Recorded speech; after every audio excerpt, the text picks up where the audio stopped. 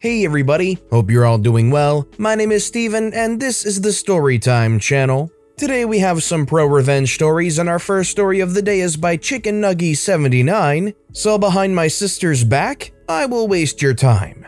This happened a few years ago, but felt like this story belonged here. My sister was pregnant at the time and didn't have much money to get baby stuff brand new. She decided to use an online marketplace for used baby clothes and furniture. She had found a changing table that she liked and messaged the seller about the details. They had agreed to meet at a public place for the transaction on a certain date. The day before the scheduled meet, my sister had already made plans with a friend with a truck. She messaged the seller about the final details, and then the seller revealed that she had sold it to someone else already. My sister told her that was messed up that she had agreed to sell to her and already made arrangements with a truck. The seller was not apologetic whatsoever and basically had a sorry, not sorry attitude. I can see my sister was pretty upset by this lady and decided to inflict some petty revenge on my own. I found the seller's other items for sale and messaged her myself about a meetup to buy one of the other items. We exchanged numbers and she was none the wiser of the connection between me and my sister. I texted her that I was on my way to the meeting point the day of but really I was sitting on my couch watching Netflix. She texted she was almost there, and a few minutes later she told me where she was parked and what her car looked like. I continued texting every few minutes that I was caught in traffic or at traffic lights. 45 minutes later, she becomes irate and said she couldn't wait any longer and left. I finished my movie on Netflix with a crap eating grin of satisfaction. Next time, maybe she will think before screwing someone over. So, in your guys' opinions, do you think this will actually make the seller think twice about screwing someone over? Or do you think, in the grand scheme of things, it'll just be 45 minutes wasted for them and probably won't change their mindset? Let me know your thoughts in the comments down below. Our next story is by Psycher11. Won't allow the bartender to turn down the jukebox volume? Okay. Listen to music you didn't play. So, this happened to me about 8 years ago. I finally turned 21, and my parents wanted me to shoot on their teams in the bar dart leagues. One was a Thursday night league, and one was a Friday morning league for the third shifters that started at like 8 or 9 a.m. Because I shot the night before, I was generally hungover for Friday AM League, and I am by no means a morning person in general, so I'm typically crabby for the first few hours of being awake. And on this particular day, we had to shoot at this bar that I did not care for. When we started to shoot our match, this dude on the other team decided to start playing the jukebox. Normally not a big deal, except that it was at an extremely loud volume, and it was the screamo hard rock music. And this type of music I do not care for, especially so loud and I'm so hungover. This was also when playing from your phone was still somewhat new, and not many people realized you can skip songs and play without physically going to the jukebox. I had asked the bartender if they could turn the volume down, as there were only 9 people in the bar, 4 people per team, and the bartender. The people in the bar were not talking loud enough to justify the music volume, but the dude yelled at me for asking it to be turned down, saying he paid for it. I want to listen to it loud. Being this was their home bar and he was probably a regular there, the bartender sided with them. After the second song, I couldn't take it anymore. I signed on the Jukebox app, and I loaded my phone with over $40 worth of credits and started playing the most annoying, to the other team at least, it was music I liked, non Screamo music I could find. And of course, I paid the premium price, so my songs got to be played next. So his next song got interrupted with. Wait for it. Barbie Girl. Oh, yeah, you know the one. I'm a Barbie girl in a Barbie world. His teammates look at him like, What the freak, dude? You play this? He's confused, like, No, I didn't freaking play this crap. I must have hit the wrong button. Remember, these internet jukeboxes aren't like the old ones where you hit the letter and the number. So there's really no way you could have accidentally went from insert Screamo song here to Barbie girl. My team knew what was going on because I showed them my plan.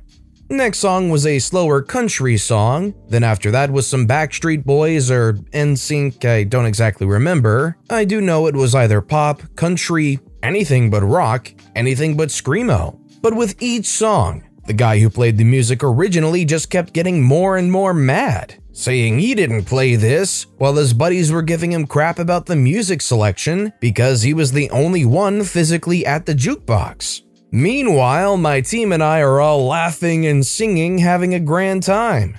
Whatever song played next was the straw that broke the camel's back. He slams his fist on the bar and screams at the bartender to skip this crap. And he wants his money back due to the broken jukebox that wasn't playing his songs. I calmly stopped the bartender before she skipped it and said that if you skip any of these songs, you will have to reimburse me as I paid for them. I showed her my phone, and bartender realized what had happened, but the dude was still confused, mad, and clueless. Now, the conversation is how I remember it. It was eight years ago, so it's not word for word, but pretty darn close. What do you mean you played this? You didn't even go up to the jukebox. I played them from my phone.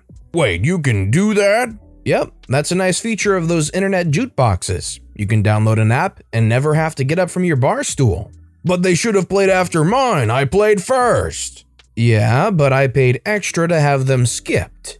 Well, how many did you play? About $40 worth of songs. Are you freaking kidding me? I wanted to listen to my songs. Well, you could have, if you would have let the bartender turn down the music when I had asked. I'm hungover and don't care for what you played, but I maybe could have dealt with it if it was quieter. Well, can you move some of your songs so I can listen to mine while we shoot? I'll turn the volume down now. Doesn't work that way. I can't change the order. Well, then I'll pay more and skip your songs. Yeah, that won't work either. Your songs will go to the end of the priority play, but in front of your non priority plays you had played earlier. This is freaking stupid! When will my songs come on? I looked at the app to see how many songs I had left and kind of guessed at about 3 minutes a song, give or take.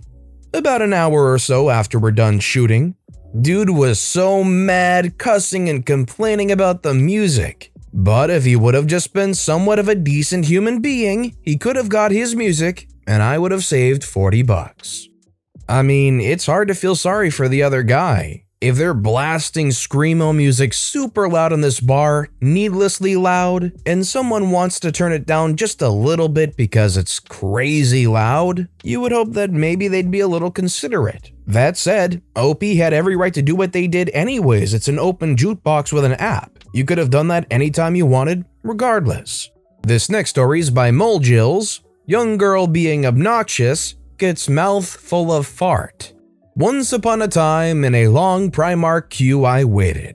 A five year old girl was next in the queue with her mother. Pre COVID, so less than a foot away from me, she was literally the worst, throwing a tantrum, making rude comments about her mother for not buying her certain things, being obnoxious to other people in the queue, and generally being loud and intolerable. And the mother wasn't doing a thing about it. I must have listened to her nonsense for at least 15 minutes because the queue was barely moving. Well, it just so happens that her head height was pretty much identical to the height of my butt, and I had some slippery thunder brewing. Yep, you guessed it. That obnoxious girl got a point blank mouthful of my silent fury. Boy, did she make a stink about it. I don't want to toot my own horn, but it was a belter hints of cream spinach and old wet leather. Don't know what I'd been eating, but I'm still proud of how my colon dealt with that situation to this day. I'm pretty sure nobody was gonna call me out. I was a silent but deadly bystander minding his own business. The only thing I regret was how many innocent victims paid the price for my social justice that day. Because to be honest, the smell was so bad, I might as well have crapped myself. Well, this was certainly one of the more gross revenge stories I've ever read on this channel. Very descriptive, too. They didn't hold back at all, both in description and in the queue in front of the five year old girl. Anyways, on to the next story. This next story is by underscore Mr. underscore evil underscore. Guy parks in my parking space, so I block him in for about three hours. So let me lay out the scene for you. This happened about a year back, late in the evening. I was hanging out at my cousin's place and I had to head home to feed my dogs. Let me explain our parking. Since I had taken the car out, there's a property next to our house that belongs to my father's brother. There's nothing constructed on it, but there's like five truckloads of dirt and mud with enough space by the road for a couple of cars, and that is where we always park both our vehicles. So as I reach home, I see an unknown vehicle parked in my space, and I was visibly annoyed because this happens every time. Either someone parks in our space or double parks and blocks us in. So I decided to serve some petty revenge. I carefully parked my car in such a way that I was blocking him in and at the same time not blocking him. There was enough space that if he wiggled his car back and forth enough, he'd be able to get out without damaging any vehicles parked there. After that was done, I headed home, served the dogs, and headed for a shower. Now, I take long showers and I had to dress up because I was heading back to my cousin's place. So it was about two and a half hours after I was done with everything. I head back down and get on my bike, ready to leave when I see someone trying to flag me down. I head over to see a guy, maybe in his late 20s, asking me if that's my car. I ask him which one, the one that's blocked or the one doing the blocking. He gets annoyed and points to my car, to which I confirm that it is my car. He demands that I move it immediately as he was getting late for something. I don't remember what. I then asked him whether this was his property and if he was allowed to park there. He said that he knew the people who stayed in that house and that they gave him permission to park there. The idiot was pointing at my house, and I know for a fact that nobody gave him permission to park there. I had the biggest crap eating grin on my face when I told him that the house he was pointing at was my house, this was my property, and he didn't have any permission to park there. His face lost all expression, and he was visibly flustered. He then continued to demand that I move my vehicle so that he could leave. I just told him that he should have thought about that before parking on private property. I then got on my bike and left. His face looked like as if someone told him no for the first time. It was priceless. I returned home a few hours later to find that he and his car were gone. I went to check if he damaged my car, but he surprisingly left without any damages on the car. People can be so entitled sometimes. The guy really doesn't have any room to be super upset at OP for. They decided to park in a place that they didn't have express permission to park at. I'm not sure if OP overdid it or not here, but it'll definitely be a lesson that hopefully the guy will consider the next time they choose to park somewhere. Our next story is by Dear Ghouls, Lady wanted to get drinks free, so I made them worth that price.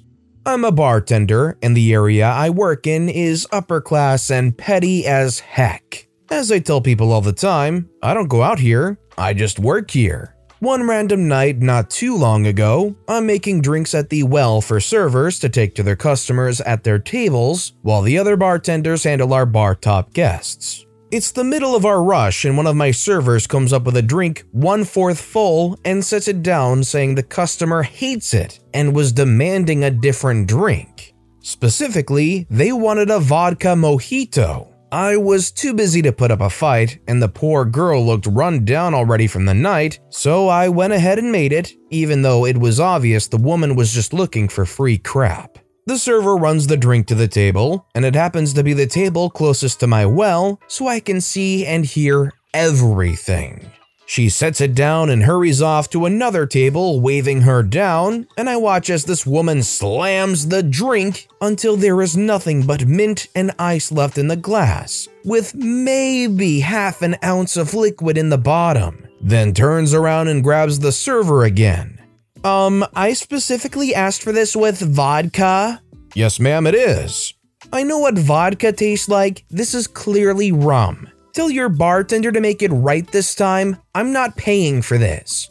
The server tried to say something, but was rudely cut off and told to get it remade again. So she picks up the glass and walks over to me. I'm so sorry, OP, she starts, and I immediately tell her it's okay, I saw the whole thing. Girl, don't worry, I got you. So I remade the woman's drink. One virgin mojito coming up. Nothing but mint, lime, simple, and soda water.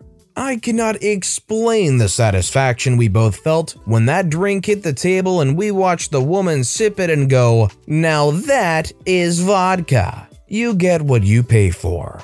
It would be an interesting experiment to take the people that mooch off of free drinks like this and just keep serving them soda water basically, and see if as the night goes on, they begin to act a little bit more tipsy even though they've been taking in no alcohol whatsoever. Although I'm sure that would require them trying to get a lot of free drinks.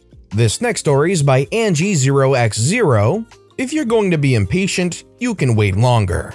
So I was doing laundry at my apartment complex's laundromat. My clothes are in the dryer. Usually, I'm good about being there before they're done, but this time I was a little late. No more than two or three minutes late.